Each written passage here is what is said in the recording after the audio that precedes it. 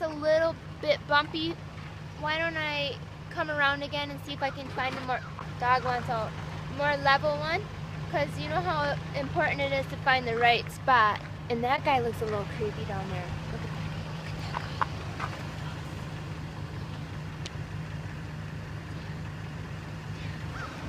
Who camps in a bus? Well, I would. I'd actually camp in a bus.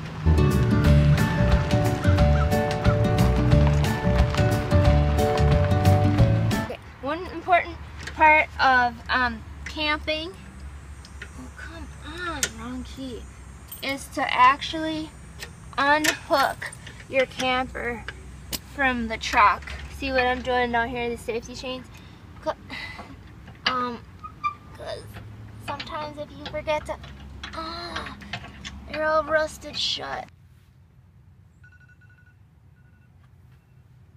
Sometimes we forget to um, close the door and so we got this piece of rope and now stuff doesn't fall out on the freeway. Tim's got to get the jacks out and I,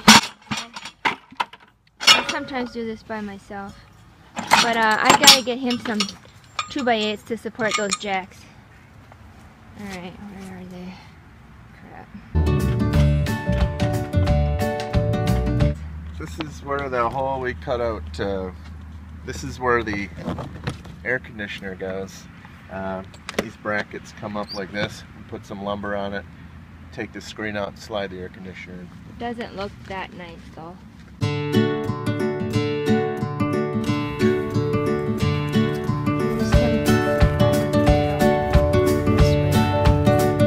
Do you need me to do anything out here?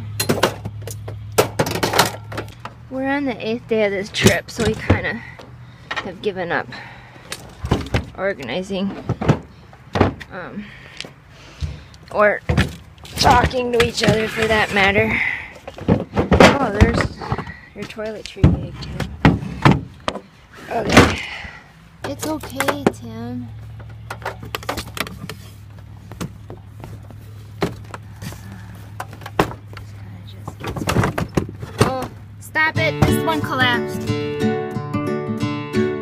The best part of going camping and being in the woods is going into town and getting a cocktail at a nice supper club.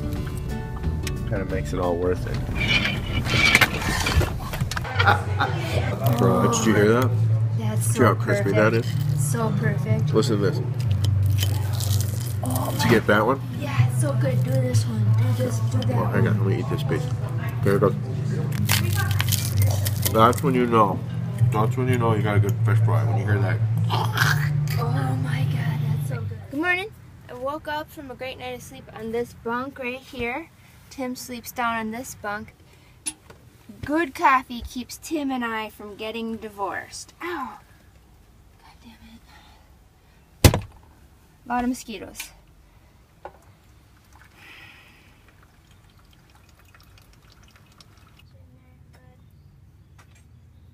We've only been We've only been here about not even what 12 Just- hours. Yeah, less than 12 Less than 12 hours. And Tim's already got to take the jacks out. Well, I guess I could take the jacks out too.